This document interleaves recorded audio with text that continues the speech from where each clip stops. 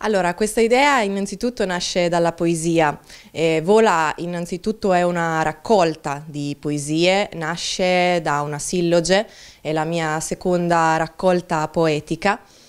È un racconto di un milione di emozioni che si possono vivere in una relazione amorosa e in particolar modo sono molto contenta perché poi da queste poesie è nato il testo teatrale e da qui l'opportunità di poterlo portare in scena a Pesaro e quindi per questo sono molto grata. A livello registico eh, per me è stato molto interessante eh, portare in scena questo spettacolo che nasce appunto da, da un'idea di Giulia eh, perché c'è stata la voglia e la ricerca eh, di andare a pescare un personaggio che potesse diventare veicolo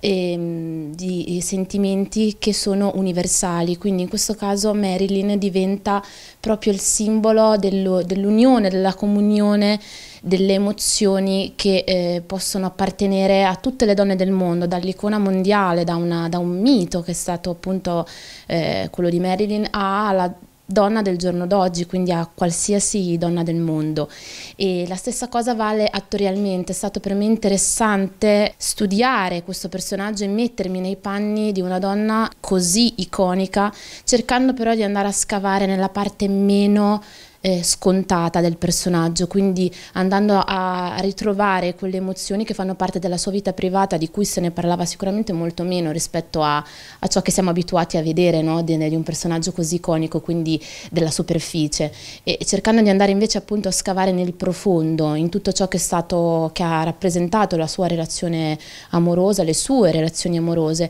e trovare lì il punto di comunione eh, con eh, il sentimento umano umano universale, quindi per me è stato veramente interessante e verrà appunto portato in scena proprio questo, il, um, la rappresentazione di un amore che può essere condivisibile eh, sia dal personaggio mito al, alla donna di, di oggi.